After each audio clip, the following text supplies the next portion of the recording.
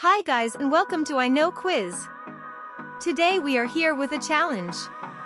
To choose between Lisa or Lena. So what would you choose? Please don't forget to subscribe. So let's begin.